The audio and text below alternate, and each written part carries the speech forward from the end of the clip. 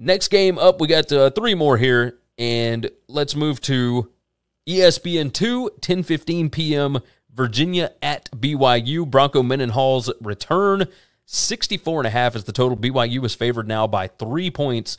Uh, Virginia, four and one against the number in their last five games. BYU has kind of dropped off a little bit as of late. Uh, you start digging through some of these numbers. Virginia's defense, not great. They are number 115 in EPA per play. BYU, same kind of thing here. They are number 90 in EPA per play on defense. So you got two bottom, you know, bottom 40 teams uh, on defense, not great. However, the offenses, uh, really good. Like, really, really good. Virginia's offense, number seven in EPA per play, and BYU, number 25 in EPA per play. Uh, BYU at home, like, this is a rough spot to play in for Virginia because we all know that playing in Provo was difficult. I mean, just ask Arizona State, just ask Utah, just ask, you know, all these other teams. The question is, though, I don't know that.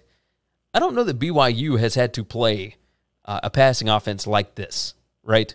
I, I don't think anybody has been quite as successful. You know, we talked a little bit earlier in the preview about Virginia and and Bronco Mendenhall completely swapping his offensive philosophy. Three years ago, when he had Bryce Perkins at quarterback, they were running the ball at you know sixty two percent of the time, whatever it was, and now they're passing the ball like sixty one percent of the time. That's that's a huge huge shift, and I I know that they are at home. And I know that everybody likes BYU and, and everything else because this line was at two and a half. It's moved up to three now. I kind of like Virginia. I don't know that BYU, if, if Virginia starts to throw the football, uh, because BYU on, on passing defense, I mean, they're number 79 in EPA per pass. Like, Virginia is going to eat them alive. So if they can't find a way to slow down Brennan Armstrong, I don't think there's any way that they can score enough points. Like, to me, this was a pick 'em the fact that I've got a three point head start here, I think Virginia can absolutely win the game outright. So I'm going to take Virginia to, to cover the three here. Yeah, this is another game that I'm super interested in, but I don't want to bet at all. Uh, I don't like this number. I, I have been betting BYU like crazy all year long. Early on, I made a lot of money off of them. I've lost a ton the last four, I think. I'm going to go back to them though. I, I mean, I'm, I'm going to go back to them just because at some point in time they're going they're going to look more like the team that look they look like at the beginning of the season. And maybe they won't. Maybe they won't. Maybe this is who they are, and that was all fraudulent.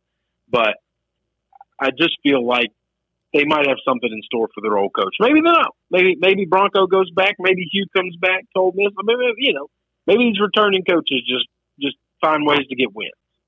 It's entirely possible. I mean, we we're kind of used to what's the kid's name, Allgeier, the running back. I mean, it, he's the one that made the uh, the Superman move early in the season.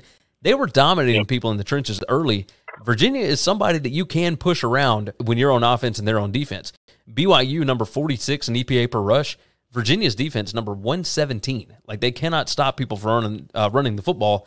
Uh, so that would be the way that BYU could do it. This man, the total is 60 64 and a half now. It came up from 63. Like this thing could get really pointy. So you're you're going to roll BYU. I'm going to take West or I'm going to take uh, Virginia plus 3. Thanks for listening to the Winning Cures Everything podcast. The website is winningcureseverything.com, and if you want to connect with us, we're on Twitter at Gary WCE, at Chris B. Giannini, at Winning Cures, or you can email us, Gary at winningcureseverything.com or Chris at winningcureseverything.com. Subscribe everywhere you need to subscribe, and we'll see you soon.